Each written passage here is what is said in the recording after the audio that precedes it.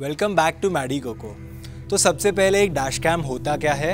आपकी bicycle motorcycle या car पर लगाई कैमरा होता है जो आपके पूरे सफ़र को रिकॉर्ड करेगा।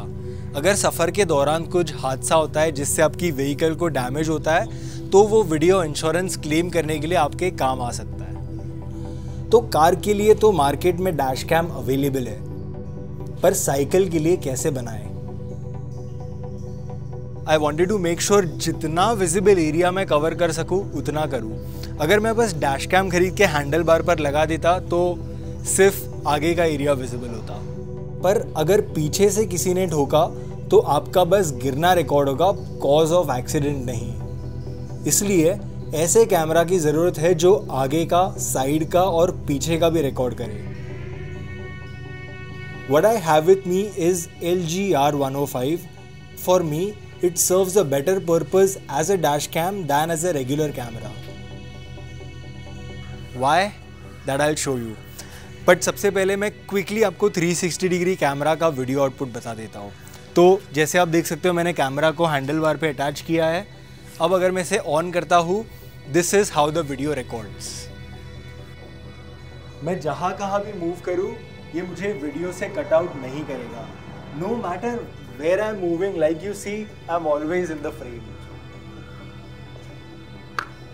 Still here. बस कैमरा को मैं यहाँ पे लगाता और हैंडल बार पे नहीं लगाता रीज़न ये देखना तो मैंने इस कैमरा को हैंडल बार पे लगाया है and it can see what's in the front what's on the side what's on the other side but it can't see पीछे क्या है because obviously I am the obstruction here. So it's a good camera, it does the job, बस इसे handle bar पे लगाना गलत है। इसीलिए इसे मैं लगाता हूँ अंडरनीथ मी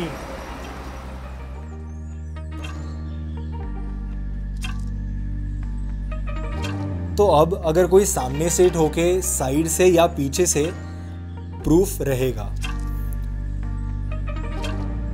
पर जनरली रेगुलर कैमरा को as a dash cam use करना मुश्किल होता है because depending on your memory card video का रिकॉर्डिंग कुछ टाइम के बाद रुक जाता है। Luckily L G R one में one two six zero by six forty का लोएस्ट रेजोल्यूशन का ऑप्शन है और मेरे sixty four G B class ten memory card में ये रिकॉर्डिंग सवा एक घंटा रिकॉर्ड कर पाया। वो भी रिकॉर्डिंग बंद हुआ क्योंकि सवा घंटे के बाद इसका बैटरी ख़त्म हो गया। अगर आपके इलेक्ट्रिक बाइसिकल में यूएसबी चार्जर है तो ये एक्चुअली कहीं और ज़्यादा रिकॉर्ड कर सकता है। और आपको 360 वीडियो देखने के लिए कोई भी एडिशनल सॉफ्टवेयर की ज़रूरत नहीं है। कंप्यूटर में ट्रांसफ़र करते ही VLC प्लेयर इस फॉर्मेट को प्ले कर पाता है। Just make sure you have the latest version of the VLC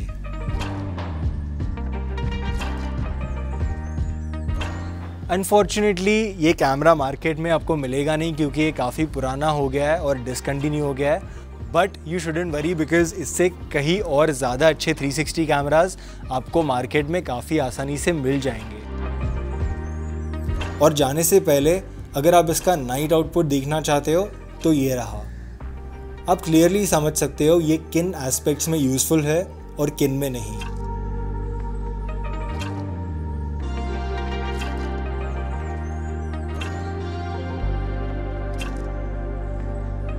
So this was all I had to share with you about my DIY 360 degree dash cam. Um, if you enjoyed this video, don't forget to let me know by hitting the like button. Also, don't forget to subscribe so that you'll stay notified with the upcoming videos. Thank you so much for watching Maddie Coco. I will see you in the next one. Goodbye.